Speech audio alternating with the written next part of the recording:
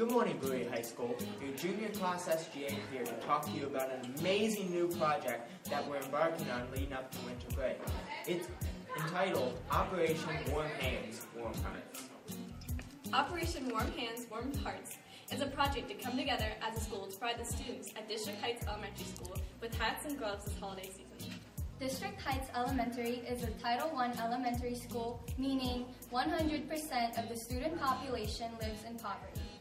This project is an excellent opportunity to help others.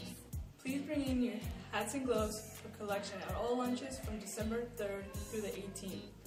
For more information on Operation Warm Hands, Warm Hearts, visit the Bowie High website. We hope all administration, staff, and students at Bowie High participate in this momentous project.